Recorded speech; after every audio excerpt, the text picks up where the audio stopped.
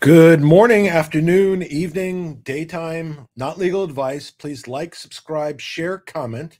I do check all comments. Uh, today I'm going to do talk about GTII, and I have to be honest, I'm a little pissy today. So hopefully it won't come through, but it kind of will. You'll see why I'm pissy as we go through this. Um, this is not legal advice. This is about GTII. This is about the history and how we got to where we are today. Before we start, I have a few questions to ask or statements. Does a human voice sound like a bark to a dog? The Stanley Cup final will be will be played this year between a morally bankrupt city built on corruption and Las Vegas. I knew this old couple that grew fruit trees together. They lived to the ripe old age. And last but not least, I called the incontinence hotline yesterday. They asked if I could hold. Anyway, I've been pushing people to explore the issue of getting rid of management of GTII. And uh, I've been getting or hearing from people asking questions about that. And even though I was trying to be discreet to not alert the other side about what is going on so they could hire competent counsel, get their monies together to defend their interest. Because of questions, I thought I'd I'd go through this and kind of um, relate what took me to that position. And again, I'm not trying to pat myself on the back. I'm just trying to explain to you my interests and why we are where we are. I've literally put tens, I put tens, I'd say thousands, more than 10,000, sure, of my own dollars, and I'm not, certainly not rich, spent and hundreds and probably thousands of unpaid hours working on this stuff. My efforts are certainly not designed to personally enrich myself. And if you want to, I'd be happy to take a lie detector test to show I'm not being paid for this. And that's not my primary interest. You can ask those associated with MMTLP if they think I have shareholder interest at heart. I think you will find that um, in general, they agree that I do. Um, where does this all come from? I'm trying to figure out. So, why do I have an interest in helping what I perceive as the little guy? Um, I've always been tied to the small guy. My father now deceased, owned a small mom and pop mom and pop market in the MacArthur Park area of Los Angeles. As an aside, it's right near Langer's Deli. And if you want a great pastrami sandwich on double baked bread, go to Langer's. That's not an advertisement. My parents, as you know, were Holocaust survivors. My mother, also deceased, spent all of her teenage years in death camps in Poland before being liberated at the end of the war from Auschwitz, minus most of her family, and my father, the same picture. So, in my family, uh, wealth was not the focus. Survival and interest in the little guy was more what drove me. Now, let's move on to the, the facts. So, I've spent my money in, and invested my time to assist investors, many of which because they couldn't do it themselves being a lawyer that gives me special access and special abilities that others don't have and, and they can't do. So for me, it was an is something that was fulfilling to try to help others who couldn't help themselves. Um, and we're working on that with MMTLP and still working on, on that. And I'm involved with MLP, MMTLP. I'll do a, a video on that later this weekend. I'm involved in an arbitration in that. Uh, on behalf of MMTLP shareholders. And in part, I wanted to illustrate, and I've talked about it, how the system itself is dysfunctional. So I've discussed at many points about defects in the arbitration system. We are close to a hearing and a trial on the arbitration. I've indicated my uh, uh, reservations about that, but also that there's appeals and other things that might come in. I've been told by Fidelity, I mean, within the past two days, that they're watching my videos because I talk about MMTLP and things like that. So, hello, Fidelity and their representatives. Greetings. Hope you enjoy this one. Hope you can help us in this one. So that brought me to GTII. And originally I got the G- GTI, GTII amongst many because of potential squeeze. And I knew or thought there was a concentrated short position. And I knew that many others were told that and believed that. And that's what brought them into GTII. But my view is okay, that's possible. But we don't know when, where, or if. And if, and on the long alongside that, if management, in my opinion, is ripping off the shareholders, then you just can't wait and not do anything. And in my opinion, it's all opinion, that's what was happening in GTII.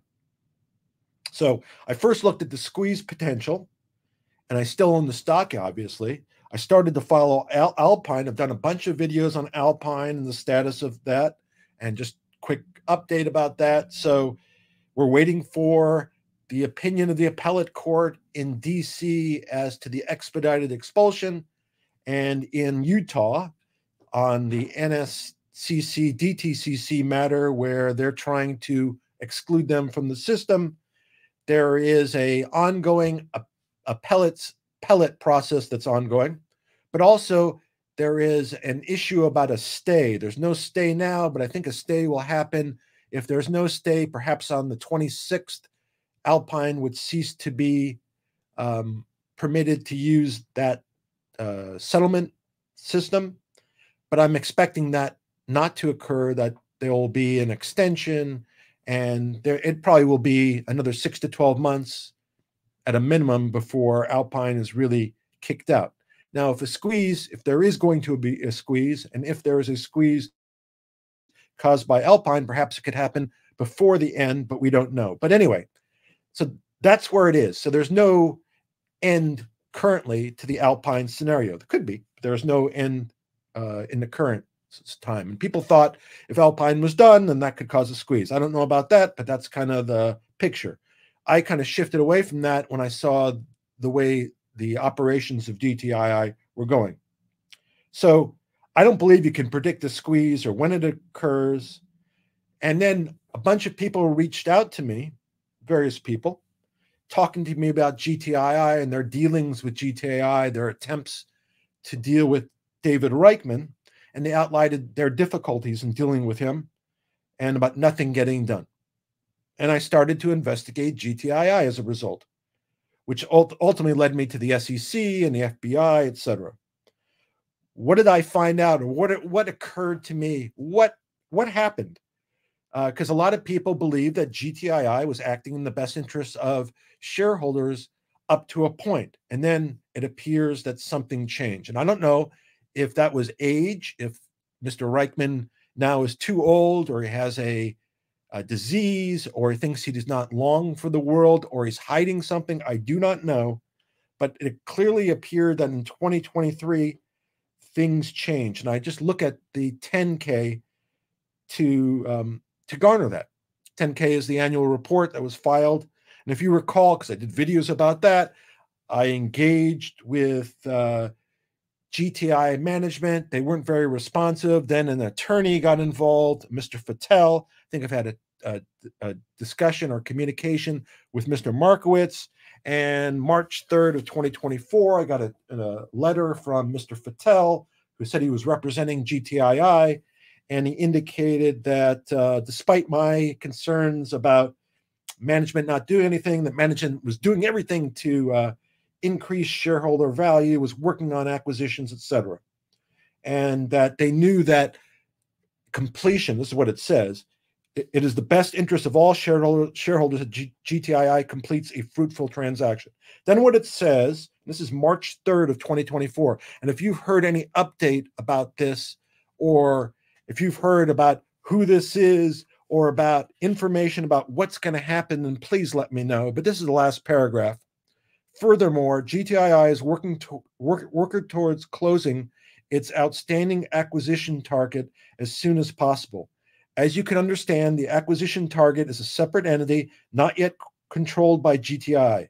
We ask that you await GTI's upcoming 10K annual report for important details that will be made available to all shareholders. So now we are almost in June. I've not heard anything further. I've not, I've not heard anything about an acquisition target, nor have I heard anything about GTI suing any company that was supposed to do an acquisition. So they're not enforcing anything and they haven't closed anything. The 10K certainly doesn't update us as to an acquisition. And there is no evidence of any acquisition. So I find the content of this letter false, in my opinion, or else it may have been true, but nothing has happened that is consistent with this letter. So I had plenty of dealings with this gentleman and with GTI man and management up to, up till today. I think the last time they had any communication with me was March 18th. Not not heard a word from them since then. And I've reached out to them probably multiple dozen times since then. So we got to, and they also indicated that 10K was going to be timely filed. It wasn't timely filed. A couple days later, they asked for an extension. What they then did is they filed a 10K late. I think it was April 16th.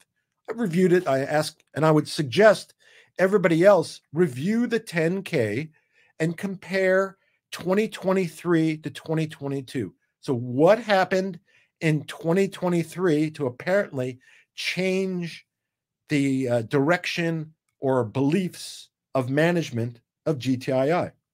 And you look at 2022 and 2023, both years, zero revenue. As far as I know, 2024, nobody's told me otherwise, zero revenue. So, what are they doing? And why was I disturbed by the 10K? I was disturbed by the 10K that was filed late, that didn't show about what Mr. Fattel had indicated was going to show about an upcoming acquisition. Not aware of any acquisition. Nobody's told me about an acquisition. But in the 10K, I noticed, and these are some of the things that stood out. You can look at it and draw your own conclusion. But there were large amounts of cash that disappeared. Looks like $4 million in cash compared to 2022 disappeared. I have no idea where it went, but it disappeared. There was a huge, and I put huge in quotation marks, a huge amount of shares that were distributed to directors, purportedly for past activities. Uh, I don't know what those activities were. There was approximately 60 million shares in 2023 that were distributed to insiders. Losses.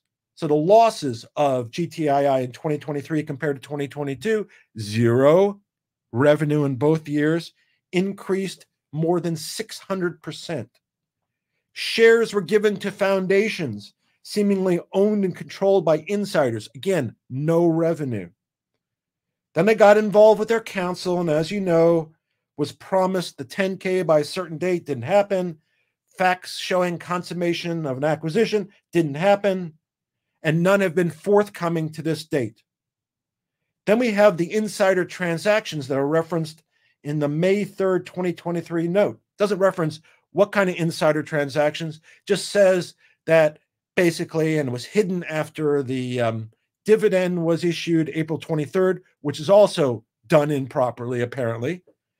But it referenced kind of in a disguised fashion that they've been downlisted. Didn't indicate any details, didn't reference why, still hasn't referenced why, still has, hasn't disclosed why.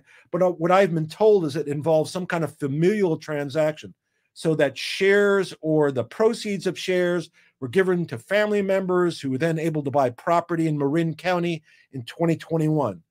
I have not seen that disclosed anywhere, nor have I disclo- seen disclosed in any of the financial documents that GTI I had all the litigation that apparently they've been involved with in the past. I don't know why that's not been disclosed, but that's what apparently is another defect.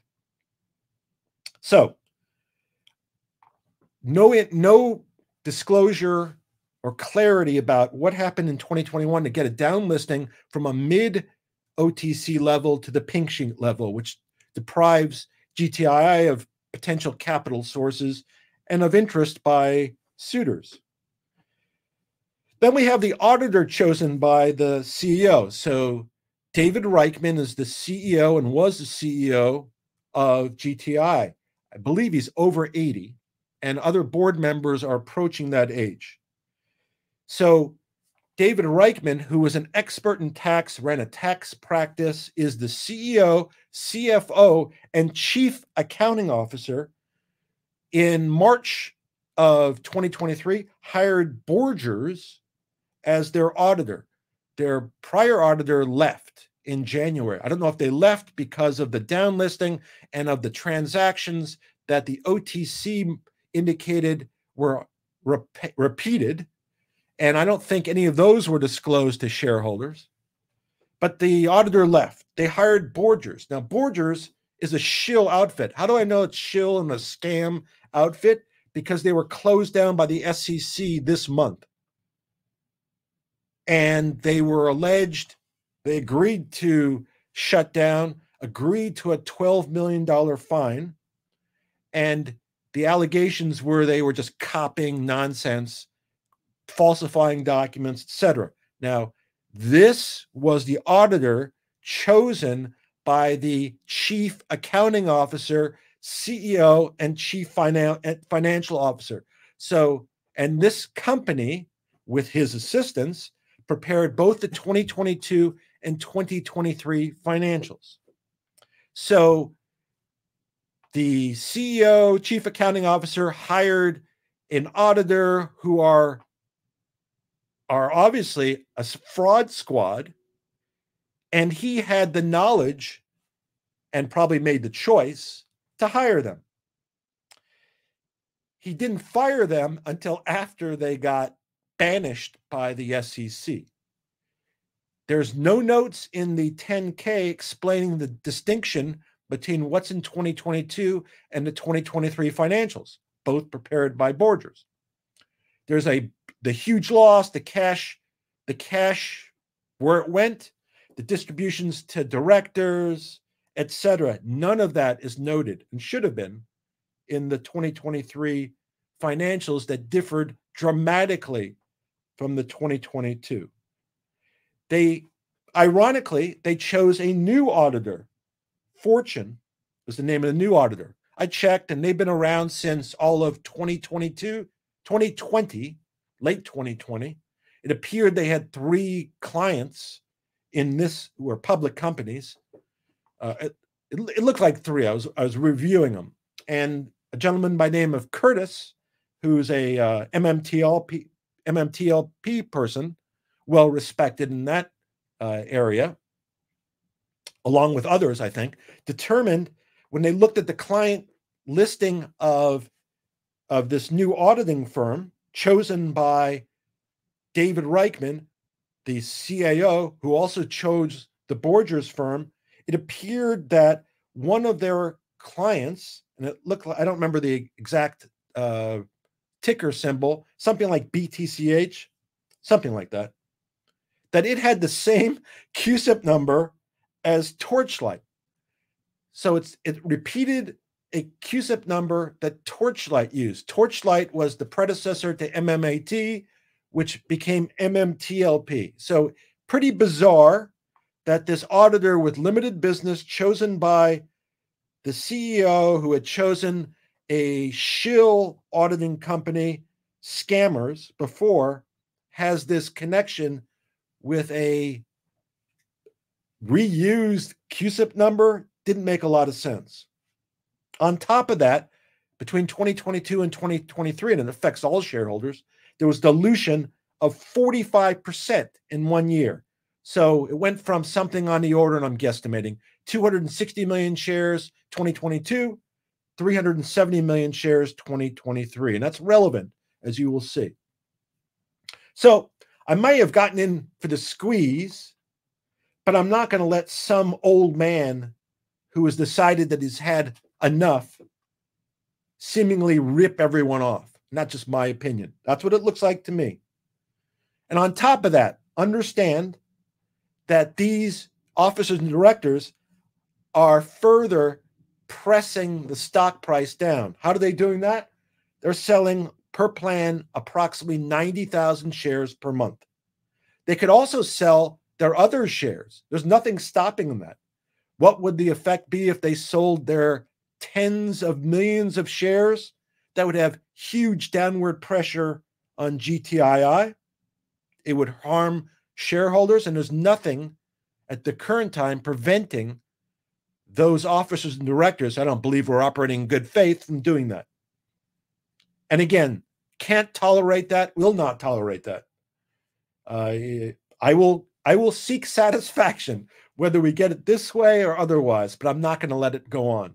Uh, it's it's public. We just can't we can't let management be part of the problem. We have enough problems with hedge funds, brokers, shorts, regulators that management can't be part of that additional problem. So I also looked at GTI's current website. It too, imagine that, it too seemingly contains false and inaccurate inf information. It, it not only falsely references Trento Resource as a project in development, but references Classroom Salon and Gold Industries as part of their portfolio. If they if they exist, they haven't produced or are producing zero revenue. And in the recent 10K, I believe, the gold investment was completely written off. So the website contains inaccurate information also that may have been relied upon by share, shareholders. So I decided after all this, enough is enough. We got to get to the end before this company is completely done. So I filed an action in California, but jurisdictionally, I could not go against, I could only against go against David Reichman because he apparently lives at the Beverly Hills Hotel driving a Bentley. Um, and but could not go against GTII directly. So I started exploring ways of getting rid of the board because the board has to go along with all management. They are a enemy of shareholders. That is what led us today. So I've tried to be somewhat discreet in getting management out. I didn't want to tip off GTII about what is coming up. I didn't want to give them the opportunity again to further dilute or steal or misappropriate money from GTII or gather money for legal fees or prepare for what is coming. And I try to do that discreetly. Um, I didn't want to give them the give them the opportunity to hire real counsel more than what they have as of today. I didn't want to give them the opportunity to raise money to provide them the source of payment of legal fees, which also ultimately brings us today in the questions. And I've gotten questions from other people about people asking about what we're doing, what's going on, uh, asking about a gentleman named Paul, etc. So I figured I would address that after I kind of explained why my interest lies where it lies. So I did locate an attorney, and I, I'm trying to be again as discreet as I can. I looked at an attorney who had prior involvement with Reichman that appeared successful. With that attorney, and I found somebody else, as it turned out, who would fund the litigation. Uh, no shareholder, anybody participating has to fund the litigation. But I found somebody else or was put in contact with somebody else who also was interested in getting rid of the board, getting rid of management so things could move forward. And that's what interested me in, in moving forward. So as a result, I kind of reached out and eventually I spoke to an attorney, and that attorney was chosen as the counsel to move forward against GTII. And that counsel had prior experience dealing successfully with Mr. Reichman in terms of from a shareholder perspective. So as as such, that interested me. Spoke with him, found out, had a few conversations, and, and I'm still in contact with him. And to the extent this goes forward, I will be intimately involved with him on a day-to-day basis. We'll find out what's going on, report to shareholders, and we'll be involved and providing uh, not only information but providing back to shareholders so they understand what's going on. In that process, and we discussed multiple ways of pursuing, you could ha- maybe have a proxy vote. You might put in uh, someone, replace someone in charge, various aspects. And we looked at it in terms of timing, cost, how long it would take. And we came upon a remedy that we thought would work best. Part of that remedy would require putting someone else in charge of the company. We haven't specifically decided which way. And to get to that point in time, we had to have enough shareholder interest. Now, two reasons. One, because to a court, the more shareholders that are, that are interested, the more likely a court is going to be interested in our position. And two, we needed a certain amount of shares relative to the total amount of shares to be able to assert that position. And you remember I said that between 2022 and 2023, management diluted uh, GTII from two, 260 million to approximately 30, 370 million. That made this job of getting enough shares more difficult. But that's what my my um, all my messages are and what the shareholder interest is. That's what's being discussed because we need enough shareholders. We need enough shares. Now I know some because people have asked, who's Paul? So Paul, the gentleman Paul, who you may have had contact with, is an associate uh, of the attorney who will be moving forward in this matter. I think Paul has prior experience, my understanding, as a CEO and other particular attributes. If, in fact, we are successful and we're able to gain control over GTII, that would involve a court process. And in the court process, whoever is temporarily, and it would only be temporary, in charge would would be subject to court approval and all actions would be have to be signed off by the court to so to the extent i'm just going to say paul let's say paul is running gtii whatever he wanted to do of a material basis, he'd have to get approved by the court. So he can't act unbridled, and there would be a bond covering him or her. So my concern about him is limited because I don't know if he will be the one who will be acting on behalf of GTII. I know it will be temporary. I know a court has to approve him, so you'd have to have the proper qualifications and skills. I know the attorney bringing the matter on behalf of GTI would have to select him, and I know that all of his actions would have to be signed off by the court. So whether it's Paul or whoever, one, I'll be closely monitoring them. Two, the court will be closely monitoring them. And therefore, I have no real concern about who it is. They will be followed and scrutinized. And they'll be temporary. And then there was an issue that came up about a a um, that there would be a hold on shares. There would be a temporary hold on shares, like a restriction.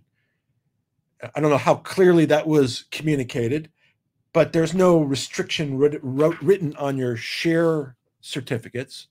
What it is is that there are particular statutes that require a certain percentage of shareholders be involved.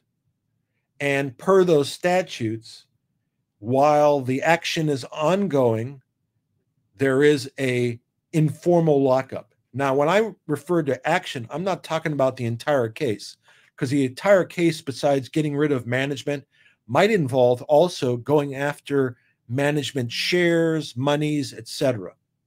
So the way the statute reads, as I see it, and as counsel in my discussions with counsel who will be involved, is that lockup is only while the person who is going to be taking over temporarily that process. So, whatever that process is, a name is given to the court. There'll be some argument and then a decision. That's the lockup period per the statute. It Doesn't go for the entire case. It's not beyond that. It only is, uh, per the statute, while the application for a replacement is decided. So I expect that to be a relatively short period of time. How long? I don't know. I've been involved in similar situations where that process took 90 days or less. And I would not be surprised if that's similar to what we incur in this point.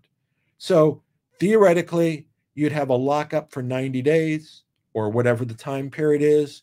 And upon completion of that step, there would be no lockup per the statute. So that's hopefully that answers the questions about people concerned about the lockup. I know that's that maybe perhaps people got information related to six months or they thought during the case, but statutorily, it's only while that process is in going on. And again, I pledge my own shares and others are pledging their shares.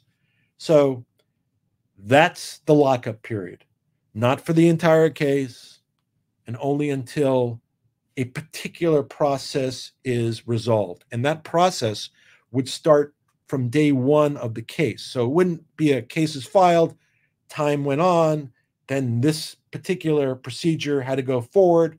No, the way this will happen is this process will start from day one when the complaint is filed, and probably the completion of that process will happen within 90 days. I'm, I'm, I'm estimating 90 days. I don't expect it to be substantially longer. Anything can happen, of course, not legal advice, but that's the way I see it. That's my expectation. So after that, after the temporary person is, there may be a permanent person that's put in. That will not be up to the lawyer. That will be up to the court. And there'll be, I'm sure there's plenty of people interested. I know somebody has reached out to me, separate and apart from Paul, for example, and there may be others, and they will put their their uh, their foot in the ringer about wanting to be involved. So, coming down to the end. So, you can do nothing. You don't have to join the cause. You can let GTII squeeze from three cents to nine cents, or you, or you can be actively involved in the solution. I will be involved in all aspects of the litigation, will be an agent and reporter for retail. Join me to get control over our lives and future, or don't whatever it be. If you think a short squeeze is going to happen, maybe, but you don't know when and you don't know the amount. And like I said, could be from three cents to nine cents. It's a 300% move. That's even at a less, uh, a, a lower value than today. So you can be part, part of the, the problem or part of the solution, however it goes. I think I've related enough details. And if you re review my prior videos, there's enough information to suggest that this particular group of management is not doing us shareholders us shareholders anything positive and in fact is further selling off shares and suppressing the stock price as a result please join me contact me you have my email please reach out and i will from here because it's going to happen anyway we will be moving forward when we have the sufficient numbers, and I will prize you of that now, since it's kind of in a semi public way. I'll prize you of that. I'll be involved. I'll keep you apprised. Hopefully, we'll get rid of management. Hopefully, we'll get new management. Hopefully, we will get a bunch of deals. Again, I still hear interest because of the the shareholder base, you, and because of the concentrated short position, apparently. But there is an interest, and hopefully that will come to fruition. I hope that, I know it's a long, long ass video. I hope that describes where we are and how we got here today. And I hope it describes the issues. If you have comments or questions, please put them in the in the video when you look at it, comment, and I will try to respond to the extent I can. And we'd love you to join us. Love to have you as part of the the group that's pursuing, I think, a righteous position. Anyway, have a great day. Have a great weekend. Be well. Take care. And we'll